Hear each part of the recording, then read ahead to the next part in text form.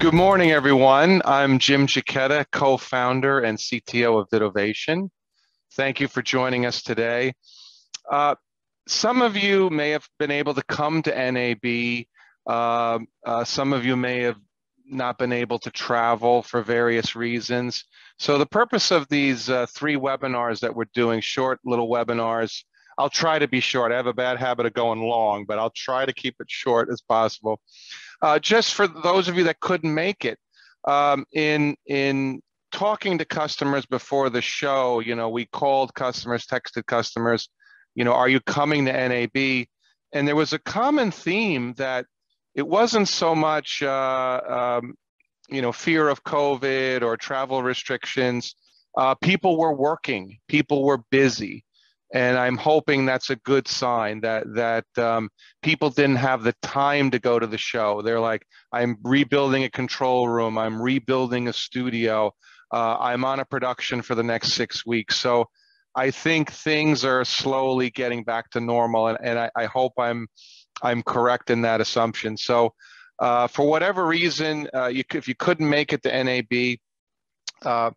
Uh, my colleague Rick and I spent a lot of time in the uh, AVIWest Haivision booth. Uh, for those of you that may not have heard the news, our, our premier bonded cellular partner, AVIWest, got uh, purchased by uh, Haivision. And the plan is to integrate uh, you know, first mile connectivity over cellular with uh, the SRT and some of the infrastructure video over IP and streaming technology of Haivision. So it's very exciting. AVIWest, their protocol is called SST, similar to SRT, but SST is great to bond the connection to go over an unmanaged network for that first mile, that challenging mile. So I think it's a great addition to the Haivision uh, offering, uh, the, the marriage of the two technologies and the two companies together. Um, I had the honor of uh, speaking, I think it's for the sixth time uh, on a panel at NAB. The uh, um, panel committee chose me to speak about uh, how 5G uh, simplify live remote production workflows, how bonded cellular and 5G helped during the pandemic. And one of the, actually the first professional sporting event that came back uh, after the lockdown in May of 20, uh, 2020 uh, was an event that uh, Vidovation and AVIWest uh, made possible, and that's with the PGA. So let me get into this presentation. So what, what I'm gonna do today is I'm gonna quickly go through my presentation. It's about at-home production, REMI production uh, over uh, the public internet and bonded cellular. I'll then close with uh, some some videos and some slides and uh, my colleague Fallon will hand out some data sheets on some of the new products but all of this kind of ties into the live production uh, workflow but particularly over unmanaged networks cellular and, and the public internet. So going to learn how uh, broadcasters like the PGA are using this technology. We're going to talk about how 5G is helping uh, common question we get is like, well, is 5G going to put bonded cellular out of business? I always use the analogy like lanes on the freeway. I, I grew up in New York. Uh, traffic is a whole nother level here in California. So uh, every time they add another lane to the freeway, the traffic doesn't get any better. So 5G is going to give us more capacity, but we're going to use up that pipe. So we're still going to need multiple connections. We're still going to need bonding. Uh, the big benefit of 5G I see is, is lowering latency. Uh, and with video transmission, the quicker we can transmit, the lower latency, that's important. So let's dive right into it. Well, uh, one other thing too we're going to cover is um, we particularly uh, are good at the AVIWest technology really differentiates itself for multi-camera. And why is that important? Well, if you have multiple cameras over an unmanaged connection, such as cellular or public internet, the cameras could get out of sync, they can drift. And then you can't cut a live show if the video and audio are out of sync and the lip sync's out of sync. So that's an important topic we'll discuss. So when the pandemic struck, I, I mean, we've been promoting the the idea of uh, producing a, an entire show, uh, a multi-camera live event over cellular and the public internet for years. I mean, we did the the Ryder Cup years ago. We did some lower level uh, PGA events, fishing tournaments. So I, I think the common consensus is like COVID and the lockdown didn't invent new technology. It just accelerated, accelerated things that we already had. Yes, there were some new additions. Um, nobody knew what Zoom was before before COVID. Now everyone, you know, Zoom is a verb, but let me zoom you. Let me zoom you. Um, we run our whole business now on Slack, so it's like let me Slack you, you know, that you know, for for collaboration. So so you know, tools that were already out there now uh, uh, uh have been put into widespread use. So before before the lockdown, we were always promoting the idea of sending less people to to the to the production site. Uh, so that, hence this graphic, you know, with, with a, a reduction in staff, uh, saving time, saving money. Uh, one of the biggest challenges uh, post COVID now, a lot of people have gotten out of the workforce or have switched industries or have retired. So there's a shortage of personnel. And doing an at-home production, you know, where you have less of a footprint on site and your skilled workers are back at, at the uh, master control, uh, an instant replay operator, instead of doing one or two games a week, now can do one or two games a day. Uh, they could do games in different time zones. So your knowledge worker, your director, your TD, your video engineer, uh, producers, etc uh, if they don't have to travel as part of their job, uh, they, they, they can be more productive. They can do more than one event in the same day. They could do an event in New York earlier in the day and then a, a, cover a game in the afternoon in, in LA. Um, I apologize. Uh, some customers of mine, some of these vehicles might be yours. Um, this is just for marketing uh, approach. Um, uh, you know, market marketing uh, uh, visual, but really what's happening is the truck is not being eliminated, truck's being moved. So in the case of the PGA, instead of sending one or two trailers to a PGA event, uh, PGA is bringing these feeds back to their uh, uh, master control in St. Augusta, and uh, they don't have master control capacity. They don't have enough uh, production switchers. So the Game Creek or NEP truck, instead of going to the venue, is going to to to the studio. It's it's in the parking lot. It's literally in the parking lot uh, at PGA headquarters. So that capacity is just moving, and then an operator can can stay in the same truck and do multiple events during the day, or there's trucks in parallel doing uh, simultaneous events in different parts of the country, different parts of the world. So that maybe the, the size of trucks are, are, are changing. You know, trucks are going to be more IP now. Uh, we're going to need a good internet connection to the truck. Again, it makes sense to have it in a central location. So uh, the trucks are not going away, but uh, maybe they're just being used in a different capacity. So back to May of 2020, uh, the, the, local health department were all in lockdown. They decided that uh, 50, 50 people was the magic number to allow on the golf course. And uh, one of the players, uh, uh, his dad is a member of uh, the Seminole Golf Club, and Seminole is not usually on on the PGA circuit. It's a private club. So, you know, if this was Pebble Beach, uh, Pebble Beach probably has a, a level three or uh, Uh, uh, uh, the switch has a circuit in there. There's a fiber coming in there because they do you know multiple events during a year. You know, so that there's infrastructure. So the only real choice would have been satellite, but we wanted to try. The PGA had been using uh, our bonded cellular, had gotten good results. Like, look, this is the perfect event. Let, let's do the whole production uh, via multi-camera bonded cellular and and it worked. You know, we were allowed 50 people. That included the golfers, the crew, the officials. Um, professional golfers had to carry their own bags. The poor guys, you know, they, they couldn't have a caddy. There was no uh, no quota for caddies.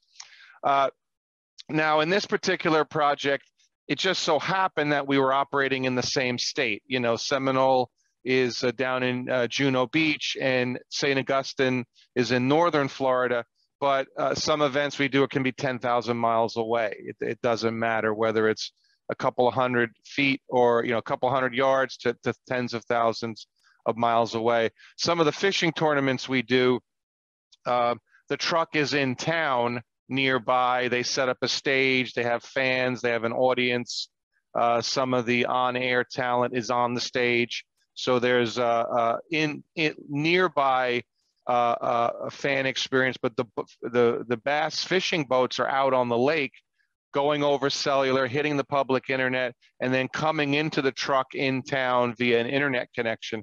So that there's a, variations of the workflow, you know, at home, uh, may not, your home might be a truck nearby, your home might be your real home. Uh, uh you, you, the technology facilitates you working from home. Mike Tirico uh, didn't feel comfortable traveling to Florida to be the uh, one of the on-air color uh, uh, commentators for the for the tournament. So bonded cellular technology was used to loop him into the production. And you know, cellular, as we all know, there is some latency. You know, there there's uh, anywhere from half a second to eight tenths of a second of latency. Uh, we're constantly working on improving that. the newer products from AVIWest can do uh, 300 to 500 milliseconds uh, of latency. So uh, we're, we're getting very close to, to you know, uh, fiber connectivity types latency. So here's, here's a picture of the course. So there were six live cameras uh, on, uh, you know, two in the tee box, two on the fairway, two on the greens, and they kind of rotated. You know, the, the two cameras on the tee follow the first group out to the green, and they kind of went in a circle or, or they you know went in a loop as another crew came through or another group came through. Then there was some uh, uh, parabolic microphones uh, catching the audio on the course. So there were about eight or nine cameras capturing the same uh, uh, same event, the same sporting event, and then a couple of dozen microphones all open in the same area. And you can imagine if the the video was out of step or if the uh, audio, there was a lip sync problem or video lock issue, you couldn't cut a, a live show. There was no, with live, there's no opportunity to fix things in post. So this kind of gives a picture of why it's so important to have everything in perfect sync, perfect genlock. Then uh, this slide shows, you know, what is the magic? Um, you know, uh, SST now is going to be uh, merged into SRT, uh, uh, you know, in the cloud. You know, AVIWest has a strong cloud solution. Uh, Vision has a strong cloud solution with SST. So uh, with SRT, I'm sorry. So SST will get it to the cloud or get it to the studio. SRT will be used for distribution between facilities or, or from the cloud to your facility. So uh, that's the magic. You know, the SST is what does the bonding. We can use satellite, you know, BGAN or satellite. We could use an internet connection, an IP connection. We can use Wi-Fi or cellular. One common question we get asked is, what's that one thing that makes AVIWest work better? Well, uh, you know, we've one of our bass fishing tournament production companies. They they had another vendor's uh, product. It's it's one of the top vendors, in a bass boat next to uh, an AVIWest demo uh, setup. And uh, the goal was uh, the unit was set to five megabits. So five megabits per second was the desired video bit rate. The competing product was fluctuating, you know, 500K, maybe a meg, 500K, maybe 1.2 meg. The AVIWest field encoder was pinned at five. Perfect textbook. So like, why? What what is what is the magic? Uh, is there some kind of voodoo, or do you have a, a LAN connection going through the water underneath the boat? What what's the trick? You know, we weren't on site. There's no there's really no trick, and it's a lot of little things. Um, starts with better antennas. Um, the the cellular device that has the strongest signal wins at the tower. So if you're in a, a, a ballpark or a stadium with 80,000 fans all on their phones, if uh, the AVIWest bonded cellular comes into the venue, it has a stronger connection to the tower, it's going to get priority. So better, better antennas and then better modems. And what makes a better modem? You know, better radio, better sensitivity, but it's the bands. Uh, AVIWest uses modems that connect to all the bands globally, every single band. In older products, two modems would be tweaked for Verizon, two modems would be tweaked for AT&T, two for T-Mobile, and then even Sprint. You know, Sprint now is part of T-Mobile. Uh, so these different flavors of modems only saw the bands for that one carrier.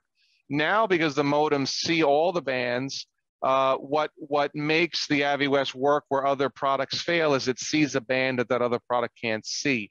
And a lot of times these lesser used bands are are what saves the day in a crowded venue or they're the lower lower frequency bands that go longer distance go through walls, go through obstructions better. So that's part of the special sauce. And then, you know, the software, the algorithm, the SST, uh, that, that's an important part.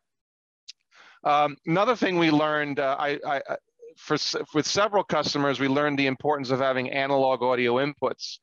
Uh, with the PGA, the, the top trace, that red uh, graphic that follows the ball when it goes through, on its arc through the air, that telemetry is sent to the truck or the production studio via an audio channel, an analog audio channel. That telemetry, I guess it sends coordinates of where the ball is on the screen uh, through the through the telemetry. So that was a big pleasant surprise. And then also they didn't need like a video embedder to get audio into the bonded cellular product for the guys, uh, the operators just doing parabolic mics. So the smaller unit uh, with two cellular modems was used for, for audio only uh, connections. And then the flagship with eight cellular modems was used for the main video feeds. Um, again, we talked about the, you know, the, the need for the frame accurate Genlock. Um, we're hoping the show comes back, but uh, we the this technology made the uh, live PD show possible.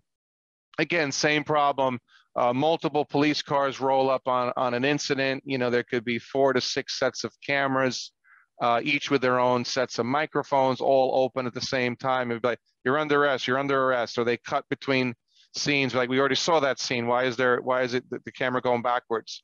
So the, the lock and the lip sync is very, very important.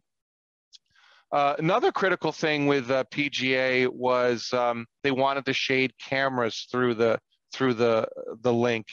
And some cameras do not like any latency at all when it comes to CCU, RCP, or camera control. Um, what what the camera and the uh, CCU or camera control unit or the uh, remote control unit or RCP expect is the camera to be in the same studio, to be in the same building, and they're expecting it on a on a managed LAN or or a short cable in the studio. So what uh, we partner with a, a, vendor by the name of CyanView, and they just do camera control. That's all they do, and they're really, really good at it. So what they do is they, they allow the camera to go over longer distances. They allow the camera to systems to tolerate latency. So if you're in in studio and it's a managed connection, the latency is is uh, uh, more manageable, you know, maybe 10, 20 milliseconds. You put a little gizmo on the camera called the, the, the, the RIO. Um, it just will do like a serial to IP camera conversion to get it over the network to the control room. The RIO is used for remote. The R, I believe, stands for remote. So that smooths out latency. So I'm any of you guys out there, uh, any of you guys and gals out there that have uh, done, you know, camera control and you've had a problem, a cable breaks. Some camera systems, when they lose connectivity with the RCP or the CCU, they go berserk. The, the iris will close, the iris will open. Um, so what CyanView does, the RIO actually mimics the, the RCP at the camera.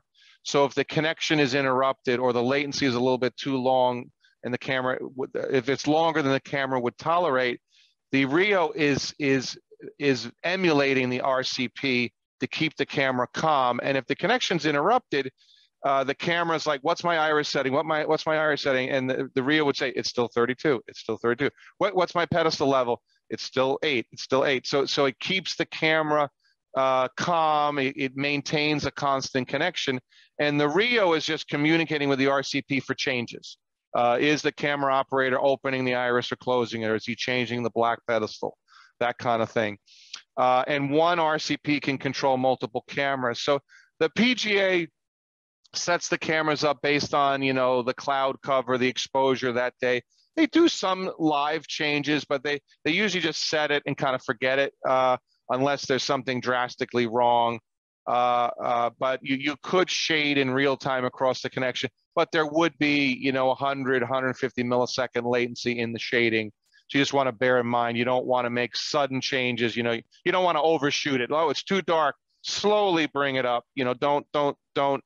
Uh, I, I don't know. I, have done some amateur shading in, uh, at Saddleback Church here. I always shade as if the camera's live. I don't, I don't, you know, I just do subtle, soft changes in case they cut to the camera. No one sees a, a sharp transition. So you see here, uh, uh, the Rio is on the camera side. Uh, there is a quarter 20 little mount on the bottom, so you could attach it to a, a, hot shoe or an accessory shoe on the camera. PGA really loves it, and it works really, really well with the uh, the AVIWest technology. Uh, it goes through the AVIWest data pipe.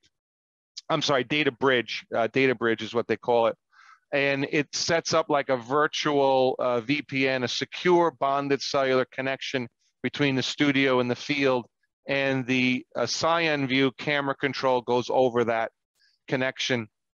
AVIWest also has rolled out recently uh, return video. It comes out of an HDMI port on, on uh, all the field encoders.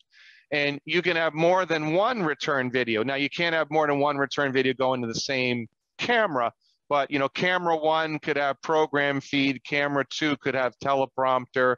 So you could have different flavors, or if you have two different sets of talent, in front of two different cameras in the field, you might want a different teleprompter for each for each uh, each talent, uh, or whatever the case may be.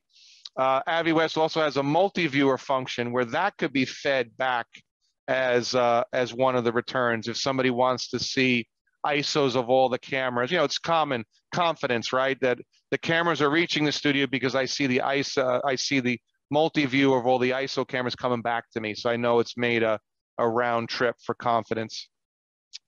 Uh, AVIWest supports all these different standards, uh, uh, both input and output. Their their Stream Hub is really aptly named. You know, calling it a stream your streaming hub, because it's not just a decoder, it's not just a receiver. You can take IP video in and out from any vendor.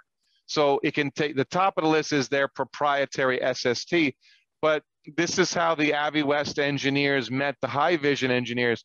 AVIWest did a really great implementation, robust implementation of SRT in their platform with the help of Haivision. And I think when they were done with that project, hey, we like working with you guys and we're French Canadians and we speak French. Maybe it's a little bit different accent and you guys are French French. So why don't we work together? So I think that's how the happy marriage came about. But here's the cool thing even before the merger, you could send your SRT feed from your Makito to an AVIWest Stream Hub because we can take SRT in. We can feed SRT out to the cloud. Or uh, uh, if we're working with AWS Elemental, they prefer SRT for the egress or for the distribution uh, uh, uh standard, uh, the SRT is, is one of their approved standards. So SRT is kind of the video over IP common language right now, common format. So uh, it really makes sense. Uh, then I mentioned the Stream Hub. Now the Stream Hub can be an appliance. It's just a, a server running uh, Linux, uh, but we spin it up in the cloud all the time. We can do parallel workflows, um, uh, stream to the studio, and then hand off things to the cloud with IP outputs from the Stream Hub. So the SDI outputs could be feeding the more traditional workflow. The IP outputs could be going up to the cloud and working with vMix or Grass Valley AMPP or Easy Live or Simply Live, whatever your preferred cloud uh, um, a solution might be. So a lot of things are, are, are done in hybrid, you know, uh, old, old school, new school uh, workflows, uh, in studio, in cloud type workflows.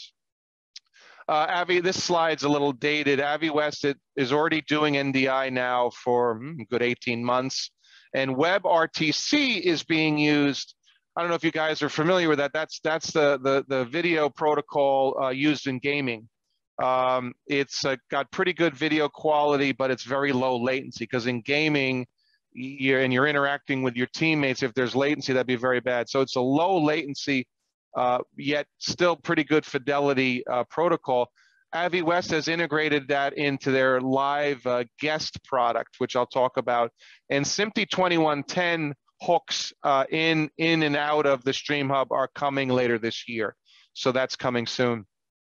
Uh, let me see. Oh, this is a good slide.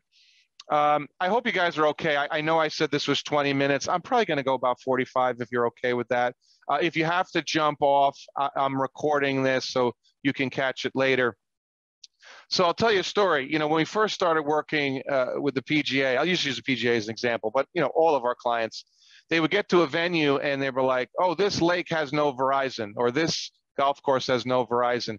Can you send 400 AT&T SIMs?" and you know we would package them send them out they'd have to pull the verizons out put the at&ts in then they go to another venue. Oh there's no t-mobile. Because the old modems could only work with verizon or, or, or only one carrier. Now because aviwest uses these modems that that can pick up any band now we marry that with esims. And we marry it with sims that can work with any carrier. So uh, it, i use the PGA. They would get to a venue where there was only AT&T, Verizon, and T-Mobile were not present. There's a dead spot. Not to pick on Verizon or T-Mobile. There's other venues where there's no AT&T.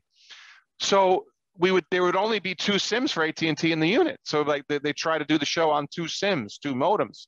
So six, four or six modems, depending upon the product, were wasted. Um, that doesn't happen anymore. You don't have to change the SIMs anymore the unit will automatically find alternate carriers that are available. It'll scan for a better frequency band on any carrier, and it's all automatic. So in that venue where there was only AT&T, uh, not having to change SIMs and not only being running on on two modems, miraculously all the modems would connect to AT&T and they would find connectivity on the tower. Uh, so these eSIMs have been a huge help uh, gives better reliability, better failover, uh, better redundancy, a better bit rate, better throughput. So it's been really, really uh, helpful for, for all of our customers. Uh, then here's, uh, here's a slide about the uh, remote interview solution. So again, this is the one that uses the WebRTC technology. So it's very, very simple. in, in the AviWest ecosystem, all that happens is you put the email address uh, of the uh, attendee, of the remote worker, uh, the remote analyst, the remote host, whatever. Um, and you send them an email, they click the link and uh, their browser pops up. It uses their webcam. You could have a better camera. You know, if you had a, um, um, um an HDMI capture card in your computer, or um, you know, NDI makes a, a, virtual webcam bridge from NDI to a virtual webcam. So you could have an NDI camera. So you don't have to be stuck with a webcam or your your little camera in your notebook computer. You could have a better camera nearby, assuming the guest has that ability to set up a camera. And it's all automatic. You know, you pick the cam like a Zoom meeting. You pick the camera, and uh, uh, the remote guest they don't need any special software. It's all done in their browser. So it's a really, really great, simple workflow. You don't need to fly a technician to the site. I, I, think people are more, uh, you know, if they can see the person and hear them, I think viewers are typically less concerned about the fidelity of a person, a talking head. You know, we're not going to run the Super Bowl through this connection with a lot of motion, but for for an interview or talking head, it's it's perfect and works really well. Customers really like it, and when they go live, they just appear as another input on the StreamHub receiver. So just like another camera coming in the field, it's like, oh, there's our, uh, there's Becky, our commentator. She's up. Boom. They work her into the workflow, and uh, uh, uh it uh, works really nicely. So I have some other slides that I want to share with you guys. Um, let me. Um, I'm going to roll some videos now. Uh, here's my contact info. I know a lot of you you folks know me, but case you don't know who I am. Oh, and I see Fallon has chatted you some links to some of the products I talked about. Thank you, thank you, uh, Fallon. Uh, here's my contact information. Um, I don't know if you can do a QR code of your screen. You might be able to. Uh, this will give you some down a download of uh, a post show. Uh, we're gonna we post the recordings and uh, I put the presentation online, so you'll be able to get everything I've showed you today. Uh, takes us about a week to produce everything and put it up online. So about a week you can expect that. So let me close this, and I'm going to show you some um, some videos.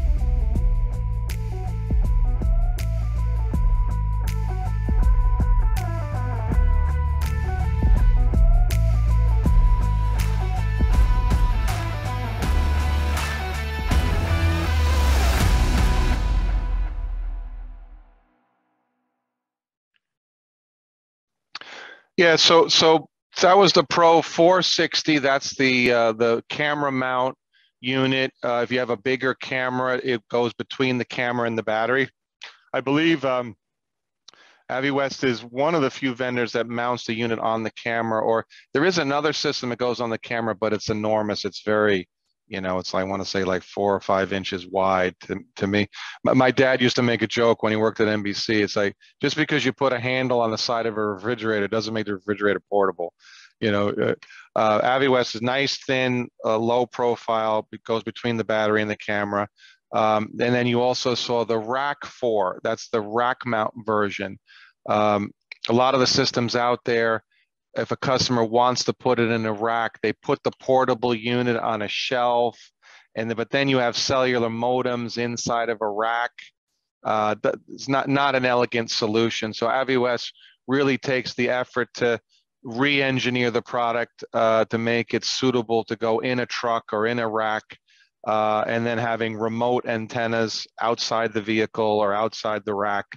Uh, or a portable unit that goes on the camera or if, if it's a smaller camera, you, we do, uh, they, AviWest does provide uh, backpacks.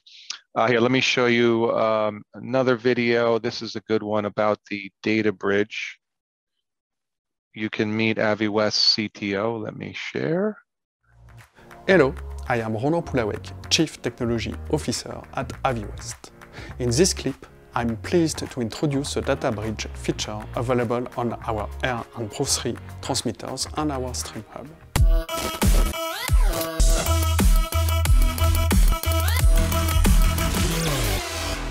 This feature offers a high-speed mobile internet connectivity from everywhere, As an example, it allows you to remotely control any kind of IP-based equipment like PTZ cameras or camera control units. Camera selection and control can be fully managed from the remote studio through a reliable IP tunnel managed by our SST technology. The data bridge can operate in parallel to the live transmission to increase your operational efficiency and cost savings. The AVIWest data bridge allows you to produce multi-camera live events from a centralized control room instead of using on-site production trucks. A reduced team is required on-site, which is key with today's physical distancing rules. Uh, Ronan is uh, the mastermind of all this technology. Uh, and, and the data bridge, that's the, that's the connectivity we used uh, for the camera that PGA uses for camera control in conjunction with the Psion View. Hello, I'm Samuel Fleischacker, Senior Product Manager at AVIWest, and today I'm pleased to introduce the video return feature recently released in our field encoders and transmitters.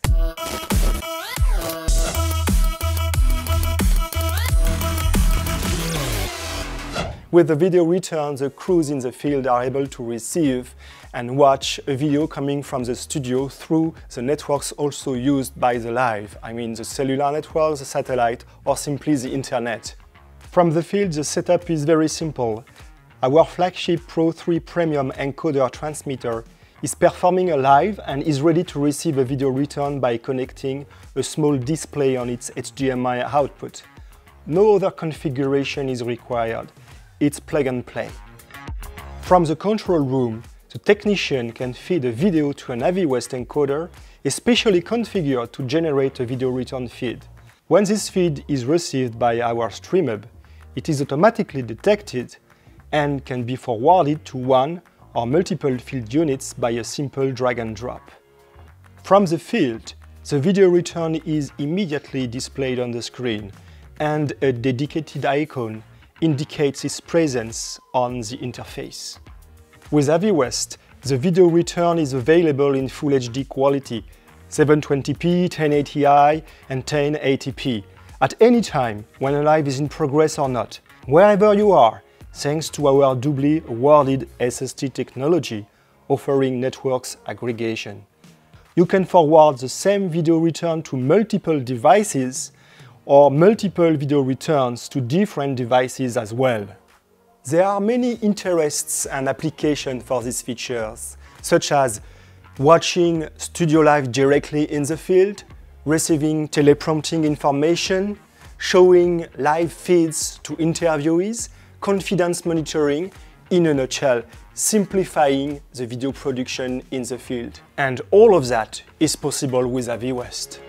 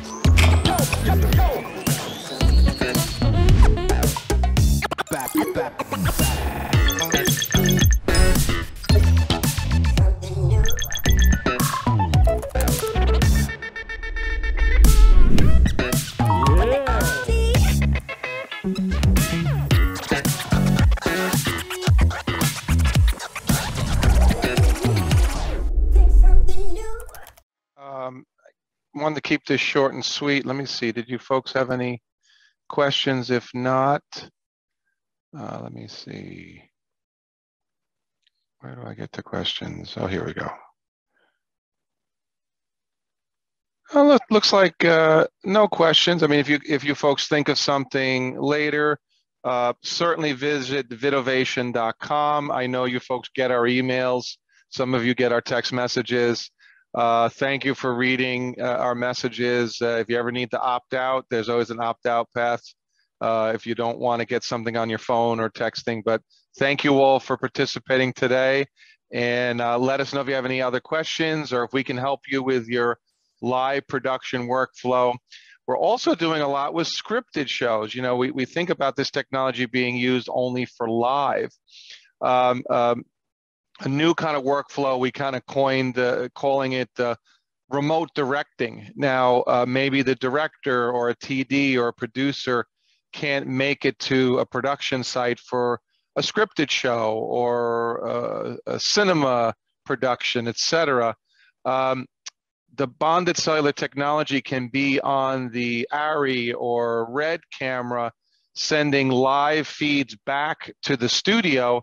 So executives don't have to wait for dailies at the end of the day to see how shooting went. They can watch individual ISO camera feeds or a multi-view feed and cellular technology can be used to bring that back. So uh, we didn't invent that idea. A customer came up with that. Say, hey, I'd like to eliminate having to do dailies, or um, or if it's a scripted show, the the live stream, you know, it's going to be lower res. The editor gets the live stream uh, and starts editing a rough cut before the hard drives are overnighted or shipped back to the studio for the final production. So it can it can help to uh, do a quicker production turn start editing content sooner.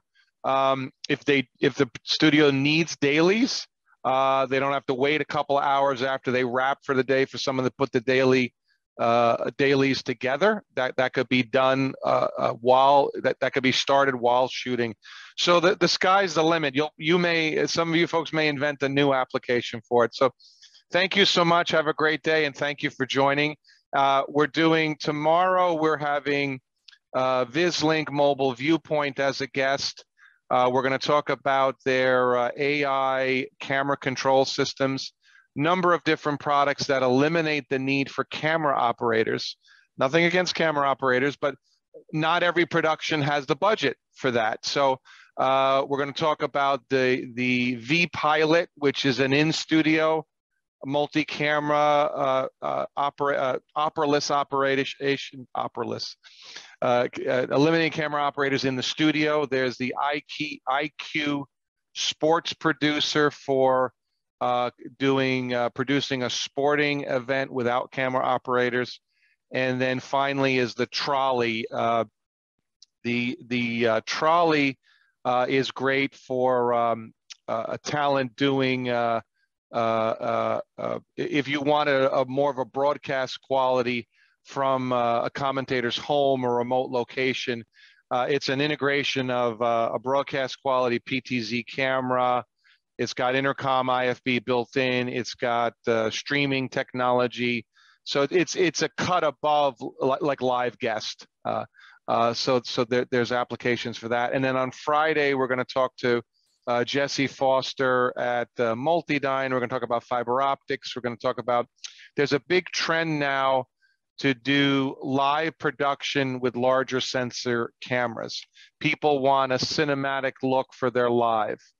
So uh, uh red cameras, ARRI cameras uh, being used for live broadcast production and the Multidyne camera back technology uh, turns these cinema cameras into broadcast cameras to bring them into a broadcast workflow. So that's on Friday.